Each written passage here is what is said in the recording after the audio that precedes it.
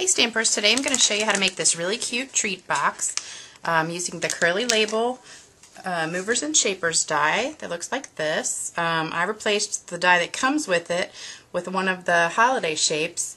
Um, this is the dove and what you're going to do is put this in here um, a little bit more than halfway towards the center and you want to make sure that the dove is going towards the center. If you were making a card out of it, the dove would be pointing the other way. So you want it to face this way. Um, and then you just lay your cardstock. I've got a half a sheet of cardstock. It's four and a quarter by 11. Lay that down on there, just like that.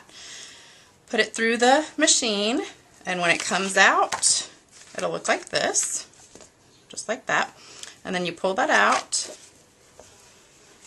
And then what we're going to do is take this and we're going to turn it this way and we're going to score it at one it's already got a score here at five and a half, and then we're going to score it at six and a half. So it's going to be one, five and a half, and six and a half. And after you do that, it will look like this. So we've got our three score lines here. This one is already going to be there, so you just have to do these two. The one at one inch and six and a half inches. So, then it's just going to fold up like this, and we're just going to stamp it using the Christmas punch set.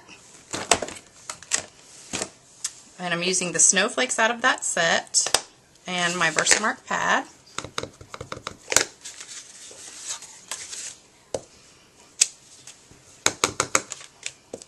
And I'm just going to put those snowflakes all over the front of it. And I got this idea when I was watching the um, Fall Regional DVD that I bought. Um, there was a project on there that was kind of similar to this, but it didn't have directions or anything, so I sat down and tried to figure out how they did it. So now that we've stamped it, um, for the bottom part here, the uh, Winter Wishes, I used a Rub-On from the Chit Chat set. And since you only get one of them, uh, one of each saying, I just cut out a different one. So this one says Season's Greetings. And I'm just going to put that right down at the bottom. Like that. And you can use the popsicle stick that comes with it. Um, I like to use a Pampered Chef scraper because that seems to work better. Or you could use your Decor element scraper or bone folder. And it just goes on that easy. And then I'm just going to check it out, fold it up.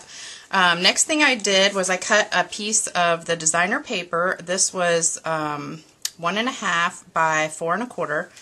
And it's just going to slide right up under the little flap that I have there. So I'm going to put that on with the mono adhesive.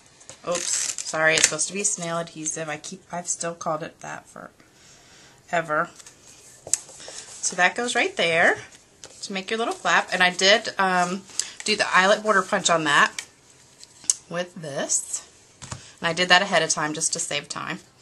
Um, then I took a cello bag. This is the medium cello bag, and I filled it with about 15 or 20 um, Hershey Kisses, and I just folded it over and um, adhered it with snail adhesive.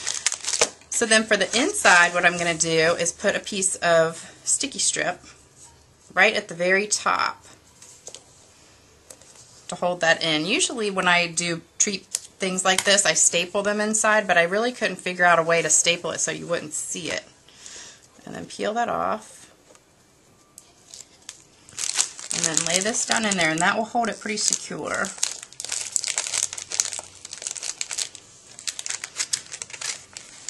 It just folds up like that.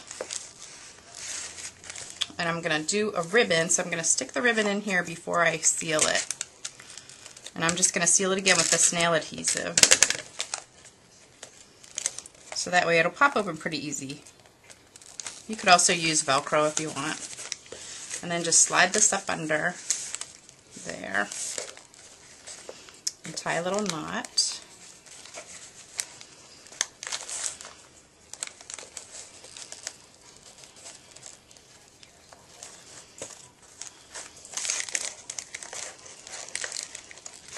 Then you want to trim that ribbon